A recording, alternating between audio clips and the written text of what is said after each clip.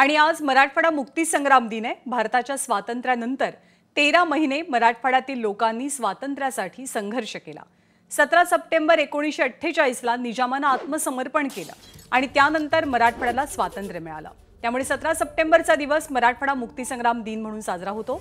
दरवर्षी औरंगाबादेत शहीद स्तंभाला अभिवादन करून ध्वजारोहण केलं जातं आणि हा दिवस साजरा होतो. यंदा मात्र मराठवाडा मुक्तीसंग्राम दिनी औरंगाबादेत राजकारण रंगण्याचा अंदाज आहे. शिवसेना आणि शिंदे गट या निमित्ताने आमने सामने येणार आहेत. मुख्यमंत्री एकनाथ शिंदे यांच्या हस्ते सकाळी सात वाजता ध्वजारोहणाचा कार्यक्रम पार पडला. हा कार्यक्रम आटपून मुख्यमंत्री तात्काळ हैदराबादकडे रवाना झाले. मात्र शिंदेंच्या या छोटेखानी दौऱ्यावर शिवसेनेनं आक्षेप घेत टीका केली आहे. तर शिवसेनेकडूनही मराठवाडा मुक्तीसंग्राम दिनी वेगळं ध्वजारोहण केलं जाणार आहे.